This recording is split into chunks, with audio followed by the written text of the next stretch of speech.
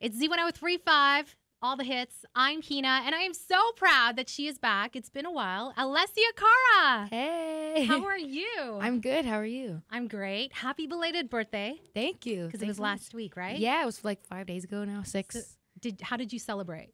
um, I was working actually, so I didn't really get to celebrate Aw, fully. Um, but it's okay because I was with family, so it was good. It was good. That's nice. Sorry, sorry if you're catching. I'm Um, trying to like talk in between it, but So where were you? um, I was in New York. Yeah, Oh yeah, because you were on Colbert. yeah. I was I was doing Colbert and then another another show on the same day, so it was like packed all day. Wow. So you have a lot to celebrate. You've got the new single, Growing Pains, Mhm. which I love. Thank you. And there's just something so honest about that song, so real. Thanks. Um, yeah. So where did that where did that come from? What place were you in that inspired that song? I was in uh, kind of a, a weird, confusing space um, when I wrote that. I, I wrote it like a year and a half ago. I'm in the middle of tour, and um, I think there's something that happens when you're not only growing up as a young woman, period, but then growing up in a lifestyle that's very strange to you and very foreign. Um, so I was just kind of going through a lot and a lot of confusion and, and trying to figure out who I am amidst all of this stuff. Um, and it was hard. So I, I wrote a song about it um, in hopes that I could help myself, but also help other people that are going through that weird transition in their lives, you know? And speaking of being helpful, that's what I really love about you is that I feel like your music is so relatable. Mm, It's thanks. so relatable. Thank we you. have some young girls here in the studio. What would you guys Ugh. agree? Yeah. Imagine they're like, absolutely, right? no, we're, we're here for someone else. But being so honest and genuine, like, I think that makes you really special. Do you find that hard to be in in the industry that you're in? A lot of the time, yeah. Yeah. yeah. because I it's just not very me, like the industry side of it. Like obviously music is, but there's a lot more that comes with it that people don't really see um, or know about. And that stuff for me is very difficult um, because I'm still, believe it or not, a, shy person and a very like I don't know. I just hold things very close to me, and and sometimes when you're in this like whirlwind, you feel like things get away from you. Um, so that can be difficult. But I think thankfully I have good people around me and a great family and support system, so it's it's easier. I remember the last time you were here, your family was with you, and I just thought that was so sweet. Yeah, yeah. My dad couldn't. My mom's at work. My dad is like sleeping, I think, so he didn't attend today. Do they travel with you a lot of the time? Um, sometimes, yeah. My dad, my dad tries to as much as possible. My mom as well, but she she's like has work, so she it's hard for her to to travel so Yeah. much. But yeah, so let's talk about the new album, Yeah. Pains of Growing. Is that the title? Yes, yes. Okay. And from what I read, you actually wrote this all by yourself, right? Yeah, Like, I did. I did. what was that like? That's big. That's huge. Yeah, it's pretty cool. I mean, I've always wanted to do that. Um, like just since I was a kid, I always grew up thinking that everybody wrote their own songs. I just thought that that's how it was. Yeah. So it became a dream of mine to just be a great songwriter. Um, and I get that's not everybody's goal, but it was mine. And so I started off on the first album writing with a writing partner, which was great.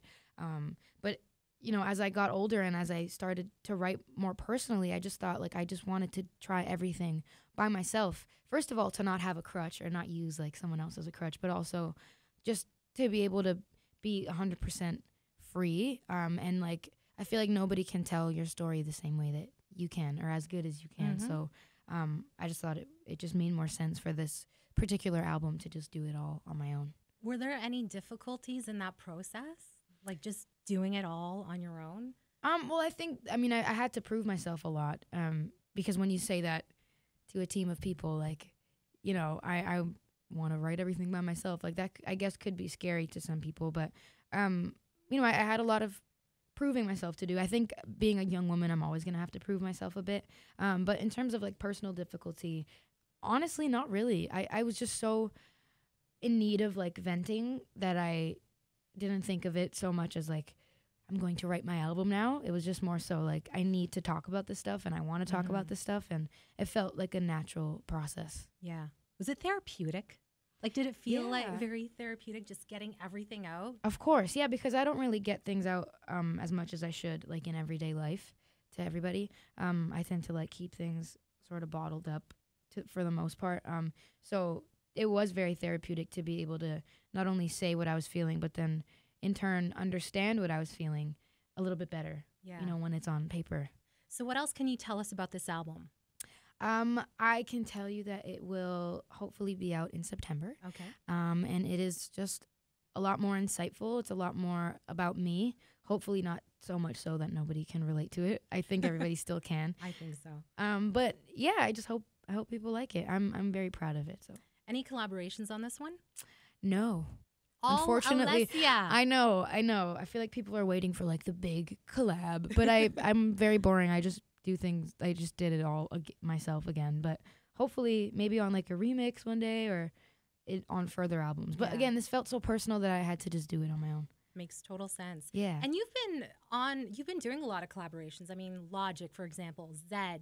So, uh, what makes you say yes to working with someone?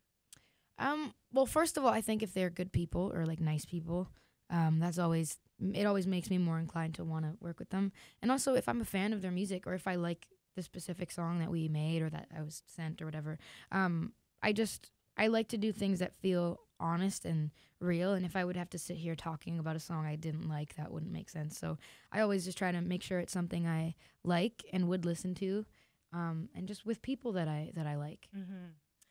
So, uh, you'll be back in August, right, for the iHeartRadio MMVAs. Yeah. You're performing this year. hmm I am. Uh, less pressure because last year weren't you co-hosting? I was. Yeah, that was probably the most pressure. Yeah. Cuz like that's totally different ball game. It's like way left from like what I usually do. But this, I mean, still it doesn't get any less scary, but I think I'm a little bit more used to it now. So I'm a little bit calmer to perform Yeah. this year. Do you get nervous when you're performing? Maybe uh, like we mentioned Colbert, mentioned the MMVAs. Do you still get nervous about performing? I I do. I always do. Yeah. No matter what I'm doing, even if it's like a little acoustic thing, like I still get nervous. I cuz I don't know, it's just it's a weird thing to like sing about yourself and your life so openly and then like perform it and focus on all the right things, like, you know, making sure you're on pitch of course and like remembering all your lyrics and just like not looking nervous. Please don't screw up. Please don't screw yeah, up. I know. Because every time I'm up there, I forget everything. It's like, I wrote this. How did I like? How do I forget? How do I like? How am I blanking? But anyway, Yeah. yeah, So you're back home, and you mentioned off the air you're only here for a few more days. yeah, So when you're back home, is there? And you're from Brampton. yes. So is there anything you like to do? Do you hang out with people, your friends? Like, what do you do? Um, yeah, hang out with my friends, family, um, and just. I mean, I do so much on a regular basis that when I'm off, I just like to do the opposite and just do nothing. Yeah. So, um, I mean, go out for lunch and stuff once in a while, but just like chill, lie down, and just in my pajamas and do nothing is really what I do. So when you're going out for lunch, where do you go? I'm familiar I mean, with Brampton, so Uh, yeah, like, I'm I'm from Brampton, but like, where do you really go? Like, if it's not Tim Hortons in Brampton, I don't know. Like Subway, I don't know. Yeah. there's really not. There's not many. There aren't many places you can go to. I try to go to the city more yeah. for that kind of stuff. Cause like, where can you go in Brampton? Do you have any good places that you oh like? wow, there's a lot of fast food restaurants. Yeah, that's- that's why. Uh, yeah, I tend to go like, you know, Etobicoke or Toronto or Same. Vaughan. Yeah, Yeah. Vaughan, Woodbridge. But we still love you, Brampton. we no, I love you. I love you. Just you got to get your like food game up a little bit. BCC is the place to go. Okay. True. Yeah, the food court at BCC. It's not bad. It's Yeah. not bad. So, uh, you're Italian, right? yes, I am. And I read recently that your family is from Calabria. Yes. Mine too. Oh, really? From the south? Sweet. Yeah, from oh, the that's south. awesome. So, do you Cool. speak Italian? Yeah, I do. Do you? No. Oh, It's so sad. I, I understand it, but I don't speak it You very well. I know more French than Italian. really no. I mean, it's kind of if you know one of those like like European languages, you usually can gauge Yeah. the other ones. Kind so of it's similar. not bad. So, have you been to Italy? I have. Yeah, I was just there actually for for promo. Um, in Milan, I was in the south. I was in the north, and then I went to the south to Calabria to visit my family for like two seconds. Um, but it was great. It was so it was so nice. Calabria is very nice. Yeah, It's beautiful. the beaches. I love it there. oh, Oh my god, I know. I want to go back. Okay, so the new album drops in September. Hopefully, yeah. Hopefully, yes. The Pains of Growing. Mhm. Uh, is that going to be followed up with a tour? Um, yes, I'm hoping. We're we're planning that out right now. I'm thinking top of the year. Um, because I'm doing some like stuff in d- November, December. Uh, so hopefully top of the year I'll be able to go out on the road and tour the album, which is really crazy exciting. Yeah. I have only done like We I mean, did the last album tour. The so- last you were on tour before, right? Yeah, I've been on tour before. Yeah. Yeah. but this just feels different. It's like it's been so long since I've like performed and like had new music out, so this feels like my first tour in a weird way. How do you think this tour will differ from your previous? I think I'll be more comfortable, honestly, Yeah. on stage just because I'm more used to it. And I think because the music feels newer, um, I'll be able to just perform it better and feel it a bit more. Because the last tour I was going on like three years that I had these songs already done. So like to me, even if a song was newer to the public, it was like so old to me. Um, I mean, I still love performing them, but you know, it's it's just nice to have something fresher. And lastly, what's your message to your fans? What do you want to say to them? Oh wow. Um thanks guys for um waiting all this time for new music. I appreciate all of you being there for me on the other side. Um and thank you for enjoying the music. I'm seeing all of your comments and stuff and it's really really amazing and heartwarming to know that you care about me and what I have to say and yeah, thank you so much. I hope I can meet all of you one day. Aw, so nice. Uh, Alessia, you're awesome. I wish you continued success, and I'm looking forward to the new album in September. Congrats. Thank you. Yay. Yeah.